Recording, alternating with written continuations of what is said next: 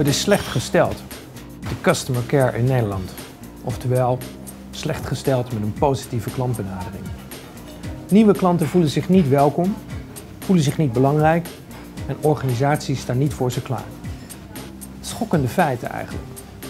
En daar moet, en daar kan ook zeker, iets aan gedaan worden. Een positieve klantbenadering kost immers niks. Aardig zijn is gratis. En mensen zich welkom laten voelen heeft te maken met de juiste instelling. Het gaat dus om die instelling en de juiste attitude. Zit dat niet in je DNA, dan is het wel lastig. Maar niks is onmogelijk. Dus je kan er wat aan doen. Als je maar wilt.